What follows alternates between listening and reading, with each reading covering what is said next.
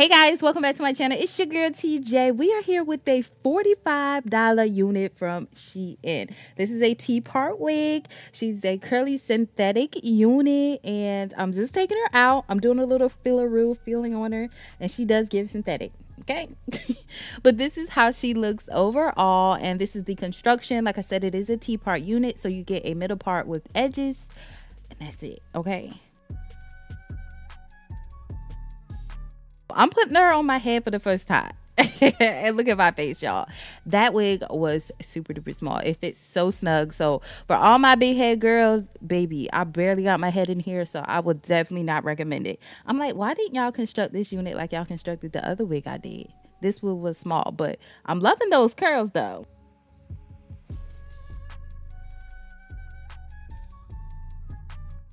I'm gonna first get started by tinting the lace. I am using my Red by Kiss Lace Tinting Spray in the shade um, brown and I'm just gonna go ahead and lightly cover up the lace. Like I said, the lace is transparent, so you do need to tint it so it matches in with your or blends in with your skin tone. You can use foundation or you can use uh, concealer as well. So after that, I'm just going to go ahead and seal it in with some hairspray. This step is optional. You don't really have to do this because it dries down on its own. And then I'm going to follow up with my blow dryer on a hot heating setting and allow it to dry.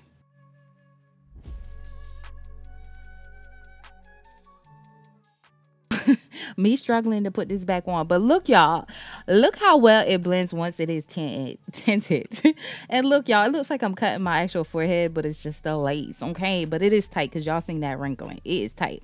But I'm just going to go in with some scissors, my shears, and cut off that lace that we not need. I cut fairly close to the hairline. The less the lace, the better, in my opinion.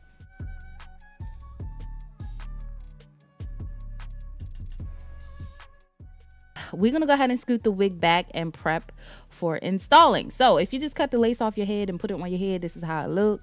It don't look that appealing. So we gon' we gonna fix her up, okay? So anyway, I'm using my Ebin Wonder lace. This is the Supreme version, and I'm just gonna go ahead and start in the center of my forehead. I'm not gonna put too much product here because, like I stated before in the beginning of the video, this wig is super duper small. So I just want a little bit so my wig won't slide back because even though it is snug, it will still slide back without product. So I put like a thin layer on there, just one. And I'm just to allow that to get tacky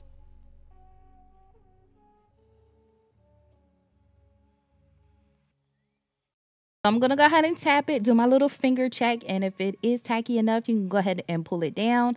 Like I said, make sure the uh, wig is lined aligned with where you place the product and you can also use the back of your comb to help it lay down. But like i said the center of that wig is snug so you're not going to need much help doing that.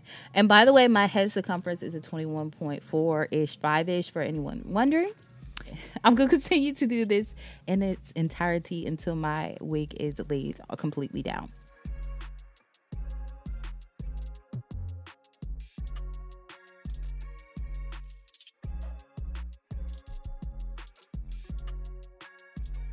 as you can see on the side here, it's not much lace here, so you can't do any type of plucking because it is a T-part unit and yeah it's just tracks over there. So do be mindful of that. You can do baby hairs in the center no baby hairs on the sides because it's just straight up track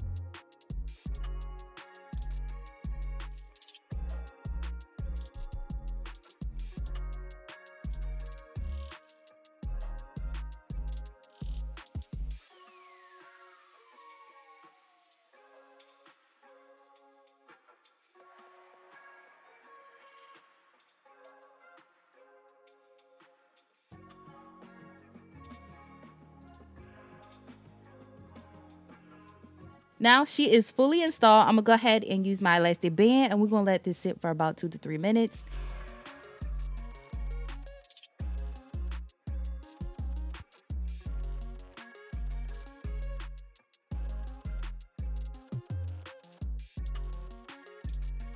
I'm just gonna go ahead and straighten up the part. Y'all know I love my parts to be a little bit crispy, a little bit more straight. So I'm just gonna take my end of the comb and straighten it up as straight as I can get it.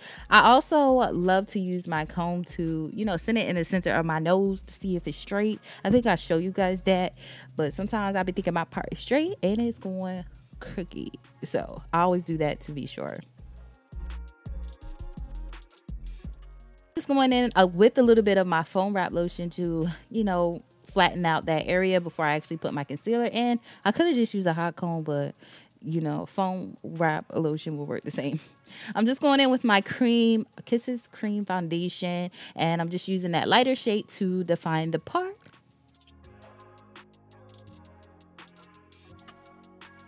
Now, I'm just trying to see, girl, we, we got to customize it, okay? Because it's looking a little bland. It's giving wiggy. It's giving cosplay. So we got to do uh, more work to it, okay? But if you don't do no work and this is all you want to do, this is how it's going to give. Okay, this is what you're going to look like. We're going to go back in. I'm following up with my hot comb. I do put my hot comb on the, the setting of five when I'm doing synthetic hair because since I ain't trying to burn up the wig now, all right? But now I'm just pushing the hair upwards. I'm trying to see, because y'all know I like that little bump in the front, that little poofiness. I don't know. I just feel like it shapes the unit better. I am going in with baby hairs, so if you guys are not a fan of baby hairs, you can skip the step. You don't have to do it.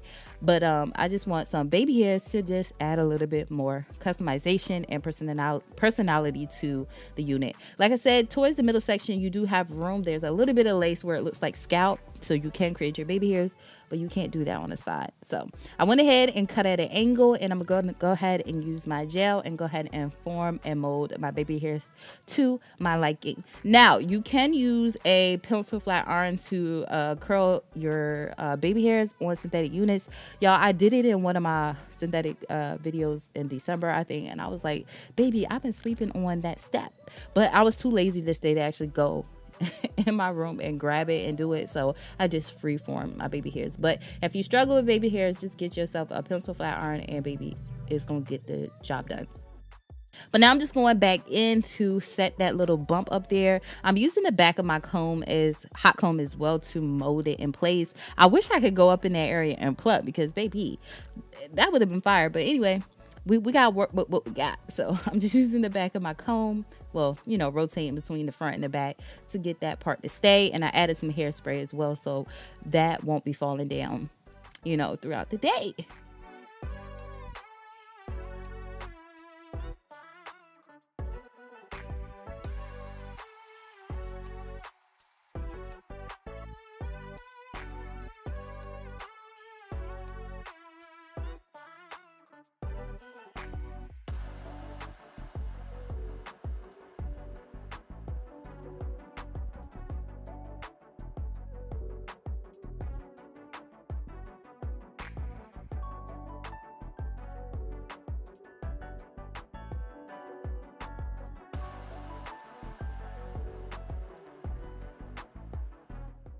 Pretty much the end of the video. I'm just gonna, you know, wrap this video up by using some more of my foam wrap lotion to put the hairs that came out of place back in place.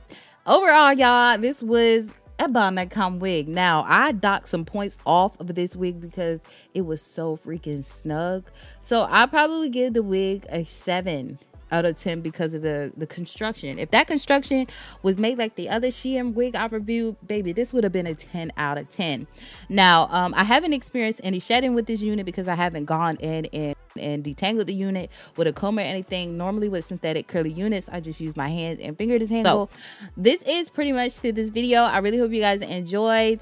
If you did don't forget to give me a thumbs up. And until my next one your girl will see you later bye guys